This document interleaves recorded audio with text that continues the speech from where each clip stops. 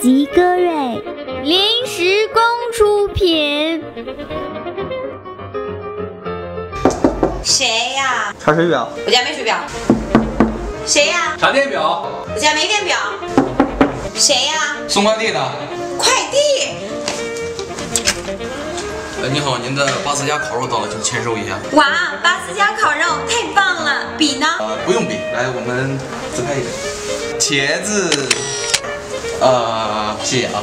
呃，是这样子的啊，您的好友戈瑞呢，因为手机坏掉没有办法发朋友圈，所以呢，特地让我来送过来让您看一下。好，既然您已经签收过了，那我就高兴了。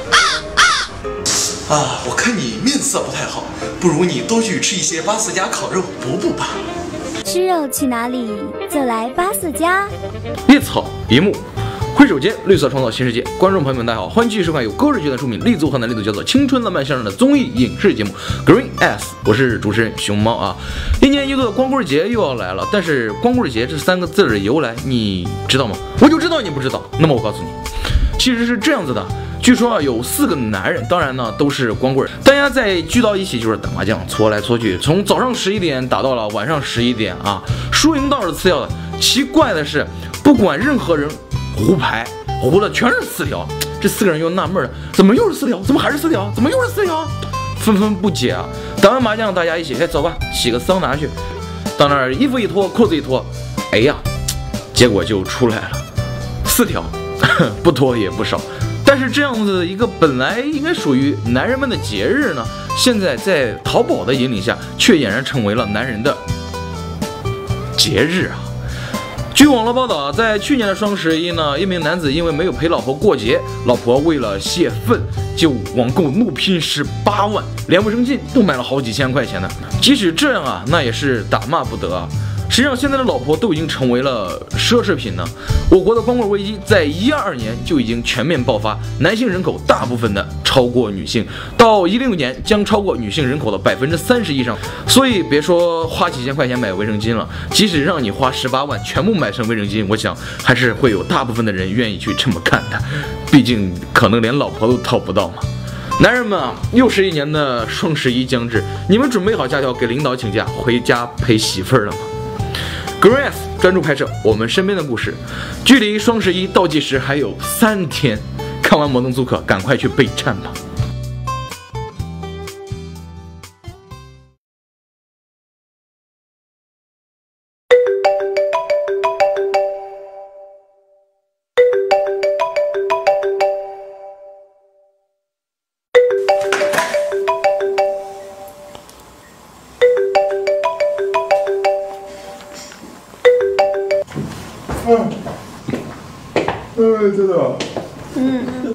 这一大上午的，你就躺沙发上睡觉？哎。我这一夜没睡好吧？赶了一夜稿子。这什么破稿子，让你编难成这样？哎，你看你的眼袋啊，都被耷拉到嘴上了。啊？真的？啊。啊。都怪我们的破主编布置的什么破专题，还初恋的美好。初恋。哎，说起初恋来啊，屠格涅夫曾经说过，初恋就是一场革命，你知道吗？他瞬间就把单调而又规律的生活完全给打破了。现在网上好像流行什么“初恋必死”定律啊。反正我周围的朋友初恋到最后没有一个能成的，但是就不像我的初恋龙女亦飞那样了啊，依然是那么的清澈无瑕，依然是我心中的女神啊！咦，还亦飞？你那叫初恋吗？你那你那最多叫追星，好吧？哎，不过你还能在电视上看到他。我的初恋去了美国 N 年了，好久都没见过，也不知道现在能不能认出对方。你的初恋？哎，你好像跟我说过，是不是你们学校那个又瘦又小的男生啊？嗯。啊。他是我们班第一名书呆子。那时候最美好的事情就是站在操场边上看帅哥打篮球。刚好那天我们校篮球队的队长跟我搭讪。然后我就毅然决然的，哎呀，不过现在想想挺对不住那书呆子的。那你们后来怎么样了？后来，后来他就去了美国啦。哦。也不知道是不是因为伤心才走的，都这么多年了。哎，我结婚那会儿还想着要请他来着。幸好没请。这个快进来，这就是我住的别墅。这些呢，都是我的住友。嗨，大家好，我是一轮在哈佛大学的同班同学，我叫 Jack。嗨，帅哥。哎，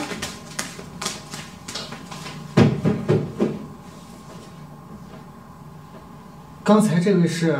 哦，他是苗豆豆，是一个在婚礼现场被未婚夫抛弃的暴走女友。在婚礼上被人放鸽子了？是啊。Hello everyone。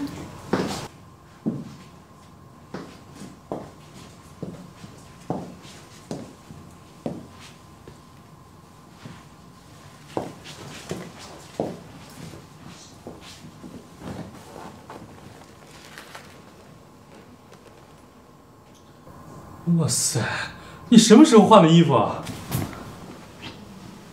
你这是魔术，都可以上春晚了。嗨，豆豆。原来你和苗豆豆是高中同学啊，真是太巧了。其实我也觉得很奇妙啊。前些日子还听同学提起过豆豆的婚事，可我一直在国外。这次回来还想着把礼金付一下。嘘，老公都跑了，你懂的。哎，豆豆，这就是被你甩的初恋男友啊！哇，他长得真是太帅了。你干嘛呢你？你别说话，我这凹造型呢。哦，我这次回来啊，啊，主要是和国内的一家影视公司有一个合作。哦。呃，首先呢，我要甄选我的两个微电影的主角，甄选演员。哎，对，这个没问题啊，我的很多朋友都是做模特的。你是要高挑纤细的，呃，清纯可爱的，小巧玲珑的都有啊。不是吧？连主题都和我的一样，真是神同步呀！莫非这就是命运的安排？这次我们电影的主题啊，啊，主要是发生在校园的初恋。哦，我们想找两个从来没有演过电影的新人，嗯，最好是那种清纯可爱、清新脱俗的形象。没问题，交给我了。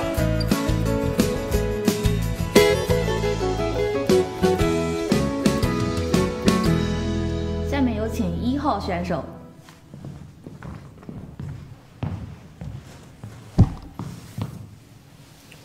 评委老师好，我是一号选手，我为大家带来一首原创歌曲《处女座》。噔噔噔噔噔，八月份的尾巴，你是处女座；九月份的前奏，你是处女座。想你的时候，也许有些意外；离别的时候，意外的看不开。停停停！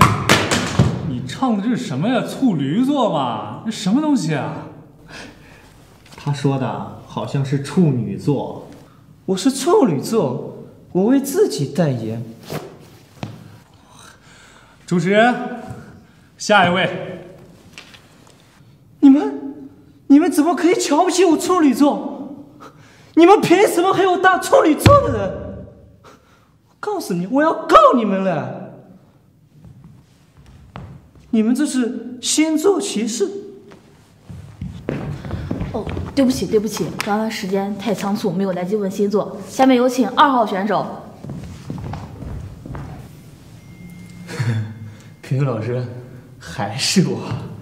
刚才啊。你只看到我的一面，没有看到我的另一面。下下面这个节目呢，我是经过精心准备的，要不您再看一下？嗯，好，开始吧。行。我跟你说，我老惨惨哦，俺家都在那山旮旯里面了，俺爸俺妈都在海边打工了，就俺爷把我养大了。我跟你说，大强戏我跑了一百多里地跑到这，就我卡死了都，俺里边这是什么呀？这是。没有好。天吃不饱穿不暖，走了我你我老惨惨，我跟你说。我说小兄弟，这是选演员，不是中国达人秀，听懂了吗？主持人，下一位。这咋咋咋咋还咋不中？我可又不中了，这这还不中？不不，我跟你说，我我我可有才了，我跟你说，这这都是我现场即兴编的，我跟你说啊，不中了，我再给你来点菜。哎哎哎哎，下去了，下去吧。不不不，导导演不中，我再给你来点更惨的啊！我跟你说，我我我是聋聋哑了，我跟你说啊，我说，哎哎哎，停停停！主持人，下去了。咋都不中是不？咋还不中？难道就没有正常一点、时尚一点的吗？有啊，下面有请三号选手。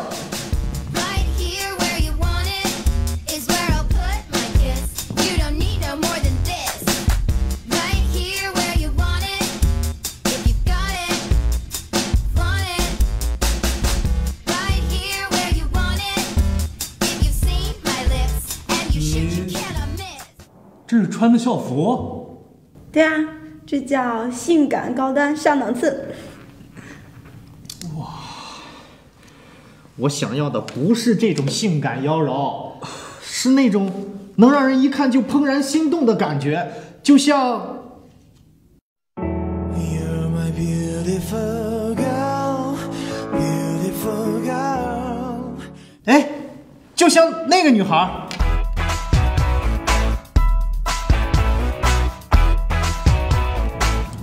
也不知道 Jack 怎么想的，让你当男主角。你不是你以为我愿意啊？还不是因为你不愿跟小雨演情侣戏啊？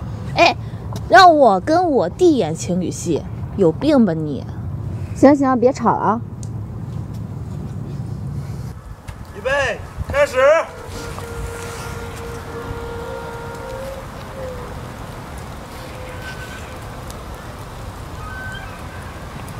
对了，我就是幼稚了，我就是幼稚才追你这么用功读书的女生，我就是幼稚才追你那么久。那你就不要追啊！笨蛋！对了，我就是笨蛋了，大笨蛋！大笨蛋才追你那么久，你什么都不懂！我就是什么都不懂了。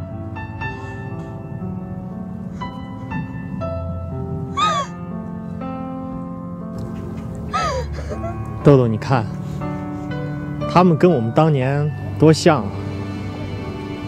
当年，哎，我有那么老吗？他们和我们的年龄差不多吧？好，好，好，你一点都没变，还是跟以前一样漂亮。那必须的，只是你好像比以前帅了哈。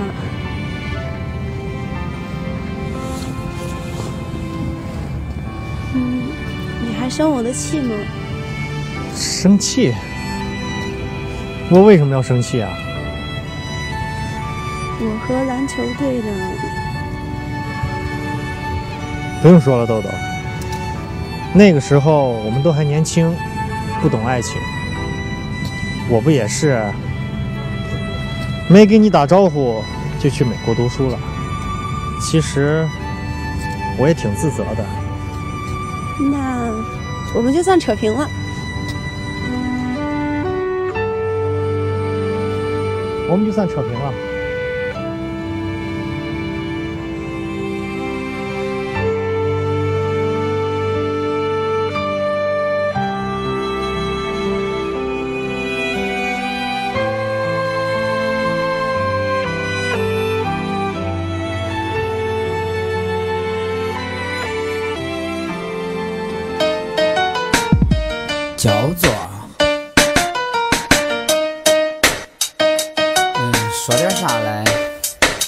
走起，该叫做走在解放路的路上，该叫做购物就去三惠商业广场，该叫做老外陈家沟里练出太极，该叫做天气就是喜怒无常，该叫做云台山的游客最多，该叫做影视城里很多。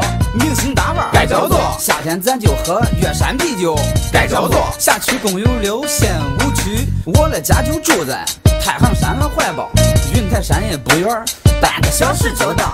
要想野外烧烤，就去青天河，完事回来再去桑拿泡个小澡。中午不行咱就矿山擀面皮儿，你要真是没有吃饱，那再兑碗烩面。想吃野味咱就往西边多走走。不爱的杂拌儿，还有沁阳的驴肉。一到夏天，市区更是灯红酒绿。这边烧猪鱿鱼，那边烤肉串儿。外地的游客都在买铁棍山药。据说除了强身健体，还能补补肾。咱就说真多吧。